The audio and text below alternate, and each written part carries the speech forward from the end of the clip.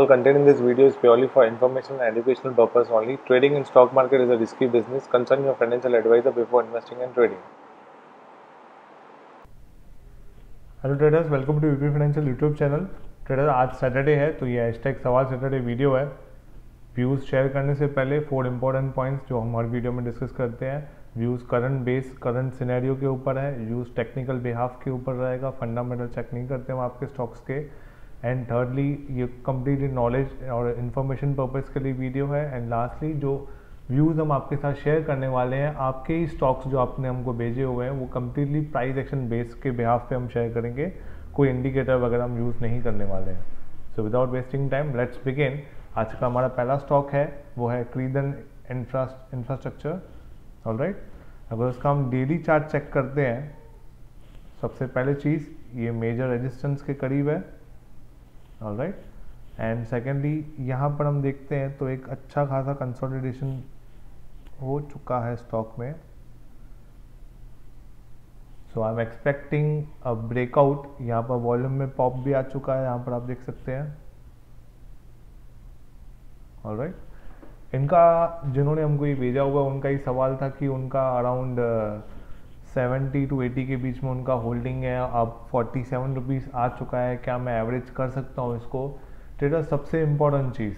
कभी भी ध्यान दीजिए investing trading in stock market it's a complete business आप ये पार्ट टाइम बिज़नेस कर रहे हो या फुल टाइम बिज़नेस कर रहे हो? ऑल राइट तो आपको हमेशा ये चीज़ ध्यान देना है। हमेशा विनर्स अब मान के चलिए, मैं आपको एक छोटे से एग्ज़ाम्पल के थ्रू समझाना चाहूँगा। अगर आप समझदार हैं तो ये चीज़ को हमेशा याद रखेंगे। अगर आप मान के चलिए आपके, आप एक शॉपकीपर हैं, आपके पास दो प्रोडक्ट हैं। एक वो प्रोडक्ट है जो काफ़ी चलता है ऑल राइट और एक ऐसा प्रोडक्ट आपने मंगवाया हुआ है जो जिसकी डिमांड ही नहीं है ऑल राइट तो आप क्या करेंगे इन जनरल टर्म्स वो जो आपका स्टॉक या जो आपका प्रोडक्ट है, जो चलता है, काफ़ी अच्छा परफॉर्म कर रहा है, काफ़ी उसकी डिमांड है तो आप उसको रिपीट और क्वांटिटी में मंगाएँगे राइट ना कि आप जो वो प्रोडक्ट आप जो आपका ऑलरेडी चल ही नहीं रहा है, आप उसको और क्वांटिटी में मंगा के और स्टॉक डेड स्टॉक तो नहीं करोगे आप राइट सो सिमिलरली यही टर्म्स आप बिज़नेस आपके ट्रेडिंग में भी आपको अप्लाई करना है। अब ये स्टॉक आपने फॉर एग्जांपल ये लेवल पे आपने खरीदा हुआ है। For example all right hundred के लेवल पे खरीदा हुआ है नाइन्टी फाइव के लेवल पे खरीदा हुआ है। अब आपका स्टॉक आ गया फोर्टी सेवन रुपीज़ जो कि फिफ्टी परसेंट डाउन है। तो यहाँ पर एवरेज करने का क्या क्या कुछ फ़ायदा है? चलो ठीक है, मान के चलो आपकी सोच ऐसी होगी, मैं एवरेज कर लूँ, फिर सेवेंटी सेवेंटी फाइव के आसपास आएगा, थोड़ा प्रॉफिट होगा तो मैं निकल जाऊँगा। अगर आपकी यही सोच है तो आपने फिर यहाँ क्यों बाय किया? All right? यहाँ पर क्यों बाय किया आपने? आपको जो आपने लॉजिक लगाए थे, अगर आपके हिसाब से पैटर्न फेल हो चुका है तो आपको यहाँ पर स्टॉप लॉ लगाना चाहिए था, यहाँ पर स्टॉप लॉ लगाना चाहिए था। आप कोई भी स्टॉक खरीदेंगे, वो नीचे आएगा और आप फिर एवरेज करोगे और फिर ऊपर जाएगा तो ये कोई लॉजिकल ट्रेडिंग नहीं होती। अगर आप इन्वेस्ट भी कर रहे हो तो आपको स्मार्टली इन्वेस्ट करना है। जो आपके इस पोर्टफोलियो में जो स्टॉक्स चल रहे हैं, उसको आप ऐड कीजिए। वो आपके विनर्स हैं, वो आपके पोर्टफोलियो को बढ़ा रहे हैं और आगे लेके जा रहे हैं और हो सकता है आगे और परफॉर्म करके और बेनिफिट में लेके आपका पूरा पोर्टफोलियो कभी भी गिरते हुए स्टॉक जिसपे आपका नुकसान हो रहा है डूबते नैया को और डूबने, डुबाने के लिए आप उसमें पैसे नहीं डालिए। आप हमेशा ये ध्यान में रखिए, आपका अगर ठीक है, यहाँ पर ब्रेकआउट लग रहा है, आप अलग सेटअप के हिसाब से, अलग ट्रेड लीजिए। फॉर एग्ज़ाम्पल मान के चलते हैं, यहाँ पर मेरा ब्रेकआउट हो गया, जो कि लेवल है इसका, मैं आपके साथ शेयर करता हूँ अराउंड 52 52 के ऊपर सस्टेन करता है ये स्टॉक तो अच्छा ब्रेकआउट आ सकता है कंसोलिडेशन से यहाँ पे एग्जॉशन दिख सकता है हमको। समझिए फॉर एग्जांपल आप यहाँ पर बाय करते हो तो यहाँ पर आपका बाय करने का ये ट्रेडिंग प्लान अलग हो गया। मान के चलिए, उसका आप टारगेट लगाएँगे, ये लेवल को। अराउंड 70 के आसपास आप टारगेट लगाएँगे इसका। 70 के आसपास आप बुक करेंगे इसको, आपका स्टॉप लॉस रहेगा नीचे का, जो कि इसका अच्छा सपोर्ट है अभी विच इज़ अराउंड 44 राइट यहाँ पर ट्रेड लेना एवरेज करने के हिसाब से नहीं हुआ। ये एक लॉजिकल मेरा ट्रेड सेटअप बन रहा है। यहाँ पर ब्रेकआउट आया स्टॉक में एग्जॉशन से ब्रेकआउट आ रहा है और मैं कंप्लीटली यहाँ पर बाय करके ये टारगेट के हिसाब से मैं, ये रिस्क टू रिवॉर्ड के हिसाब से मैं ट्रेड कर रहा हूँ। वो एक लॉजिकल तरीका है आपको ट्रेड करना। आपने हंड्रेड पे लिया हुआ है फोर्टी सेवन फोर्टी फाइव चल रहा है और आपके माइंड में ये चल रहा है कि आपको अभी एवरेज करना चाहिए। सर आपने अगर एवरेज कर भी दिया यहाँ पर, अभी मान के चलते आपका सत्तर का एवरेज हो गया। और सत्तर स्टॉक आता है और सत्तर भी आप निकालते हो तो आपने फिर ट्रेड और इन्वेस्ट करके आपका फ़ायदा क्या हुआ? आपका ब्रोकर अमीर हुआ। आपसे ज़्यादा तो आपका ब्रोकर कमा के चला गया। तो ये तरीके नहीं होते। बिज़नेस एक ट्रेडिंग स्टॉक मार्केट में ऐसे बिल्कुल भी नहीं करना चाहिए आपको। एक लॉजिकली अगर आप आप गलत साबित होते हो, आपने यहाँ बाय किया, आपके हिसाब से ब्रेकआउट था बट वो ब्रेकआउट फेल हो गया तो एटलीस्ट यहाँ पर आपको निकलना चाहिए कि हाँ बॉस आप गलत थे, आपने उसका नुकसान झेला और आप निकल गए। सौ पे लिया हुआ स्टॉक पचास रुपये चल रहा है। आप यहाँ पर सोचोगे एवरेज करना है तो ये स्ट्रेटजी ये थिंकिंग कभी भी आपको ऊपर नहीं लेके जा सकती, ना ही आप स्टॉक मार्केट से अच्छा पैसा कभी कमा सकते हो। ऑल राइट सो जिनके पास भी होल्ड है, ये लेवल उनके लिए अप्लाई होते हैं। 52 के ऊपर ब्रेकआउट आने का चांस है। और अगर हम यहाँ पर एक्सपेक्ट करते हैं एक्सपेक्ट नहीं करना चाहिए कभी भी, अगर ब्रेकआउट आता है तो कुछ ये इस तरीके का पैटर्न बन सकता है वो। ब्रेकआउट के बाद एक बार रीटेस्ट होगा then it can be easily touch 70 level and नीचे की तरफ़ 44 का लेवल है इसका। अगर हम मंथली चार्ट पे देखते हैं तो ये ऑलमोस्ट इसकी डेटा बहुत कम है। तो ऑलमोस्ट ये टॉप बॉटम टॉप एकदम लोवेस्ट पॉइंट पे ट्रेड कर रहा है। 44 के नीचे जाता है, जो कि लो पॉइंट है, इसका 40 का ऑलमोस्ट तो और कितना नीचे जा सकता है? कुछ भी नहीं बोला जा सकता। उसके बाद इसका फंडामेंटल किस हिसाब से वर्क कर रहा है, आपको वो टेस्टिफाई करके आपको इसको होल्ड करके रखना पड़ेगा। ऑल राइट ट्रेडर्स नेक्स्ट आज का जो स्टॉक है, वो है Suven life science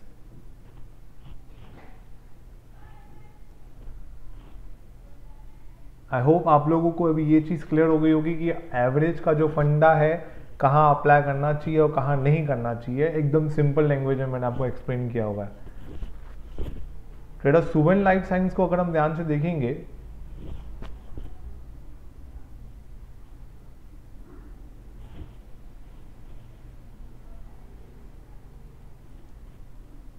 तो एक वो ट्रायंगल में ट्रेड कर रहा है आप ऑल राइट ये जो इसका कंप्लीट एरिया है, एक कंसोलिडेशन फ़ेज़ में आ गया है एंड एज पर पैटर्न जिस हिसाब से बना रहा है I am expecting at least five to ten days more इसका ये लेवल पे हम एक्सपेक्ट कर सकते हैं कंसोलिडेशन होगा। रेस्ट जिस बाजू भी ब्रेकआउट आता है लाइक ब्रेकआउट अपसाइड में हम एक्सपेक्ट करते हैं 240 245 के आसपास के ऊपर अगर सस्टेन करता है तो ये अपसाइड ब्रेकआउट देगा and we can expect around 270 जो कि ये जोन है। 270 will be the first target अगर ब्रेकआउट देता है और 245 के ऊपर सस्टेन करता है along with the volume all right 270 will be the first target and फिर followed 300 and above this all right अगर नीचे की तरफ़ ब्रेक डाउन देता है, जो कि लेवल है इसका 215 215 को ब्रेक डाउन करके सस्टेन करता है नीचे की तरफ़ then we can expect at least ये level all right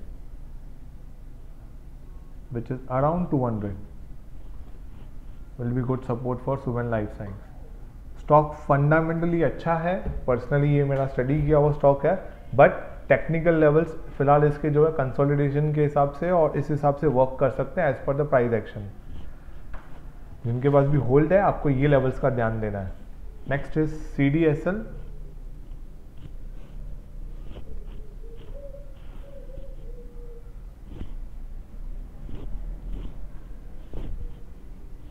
again, big resistance. ये लॉन्ग टर्म रेजिस्टेंस है सी डी एस एल के। Three and it can be four all right and as of now एक double bottom pattern बन रहा है यहाँ पर। सो so ब्रेकआउट के लिए स्टॉक को एटलीस्ट ये लेवल के ऊपर जाना है तो ही ब्रेकआउट एक्सपेक्ट कर सकते हैं which is around two thirty 230 के ऊपर सस्टेन करता है along with the volume then we can expect first target will be 240 जो कि ये इसका रेजिस्टेंस लेवल है। अगर 240 को ब्रेक करता है along with the volume then easily 255 will be the first target जो कि ये लेवल है। राइट देन सो ऑन बाकी के ऊपर के टारगेट्स आ सकते हैं. एंड ये ब्रेक डाउन देता है विच इज़ 215 लेवल 215 के नीचे सस्टेन करता है ये stock then more pain to come and similarly ये स्टॉक का भी वैसे ही है. डेटा लिमिटेड है बहुत. रिसेंटली आया हुआ स्टॉक है ये. 215 के नीचे जो कि ऑलमोस्ट बॉटम है इसका, उसके नीचे जाता है. Then fundamental will gonna work and as per the data आज की तारीख में CDSL से ज़्यादा ब्रोकर्स जो हैं एनएसडीएल पे ज़्यादा फोकस कर रहे हैं वहाँ पर ज़्यादा अकाउंट्स खोल रहे हैं। सो so, जो आपके पास जिनके पास भी होल्ड है आपको कुछ लॉजिकली सोच के आपको इसमें आपको एक ट्राई करना पड़ेगा कि आप कैसे आप इसमें से रिकवर कर सकते हो। लेवल्स फ़िलहाल के लिए और फंडामेंटल्स के लिए आपके साथ मैंने एक पॉइंट शेयर कर दिए next is R energy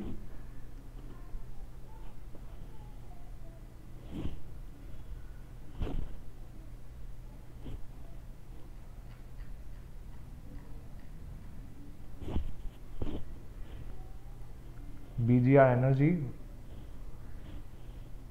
almost near to breakout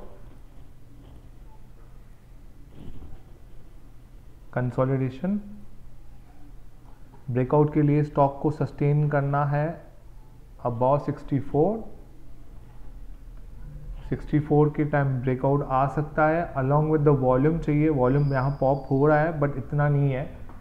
अगर 64 सस्टेन करता है along the with volume then we can easily expect 70 will be the first target जो कि इसका फ़र्स्ट रेजिस्टेंस है। 70 के ऊपर सस्टेन करता है then will be a big boom for this stock which is around 90 and currently 90 जो है हमारा, ये लेवल है। एंड करंटली स्टॉक अच्छे सपोर्ट पे है विच इज़ अराउंड 50 एक साइकोलॉजिकल लेवल भी है। एंड यहाँ पर बॉटम्स बन चुके हैं यहाँ पर. And clearly buying signal clearly buying यहाँ पर बायर्स एक्साइटेड है यहाँ बाय करने के लिए. लाइक दिस राइट सो ये लेवल बहुत इंपॉर्टेंट है ये स्टॉक्स के लिए. जिनके पास भी होल्ड है, आपको बिल्कुल डेफिनेटली ये स्टॉक पे ध्यान देना है. आज का हमारा लास्ट स्टॉक है Deepak fertiliser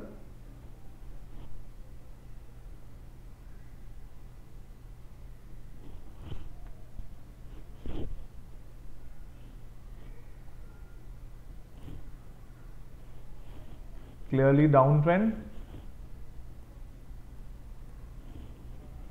And daily chart पे अगर चेक कर दे हम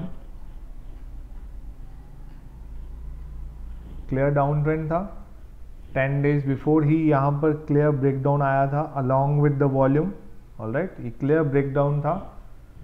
एंड करंटली रेजिस्टेंस जो है ये स्टॉक के लिए काफ़ी ऊपर है अभी विच इज़ अराउंड 180 स्टॉक में कम्प्लीटली वीकनेस है, कुछ पुल बैक का कोई भी यहाँ पर डायरेक्शन नहीं दिख रहा है। And as of now 135 current support दिखा रहा है, जो कि ये बॉटम बन चुका है। No breakout signal nothing and अगर इसको हम वीकली स्टॉक वीकली पे चेक करते हैं तो वीकली पे यहाँ पर सॉरी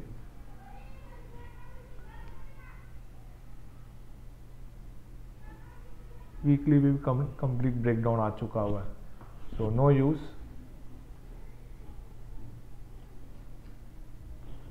सपोर्ट्स के लिए अगर हम बात करते हैं तो करंट सपोर्ट पे है यहाँ पर बट आई डोंट थिंक कि यहाँ पर डायरेक्टली सस्टेन करके ऊपर जा सकता है ये।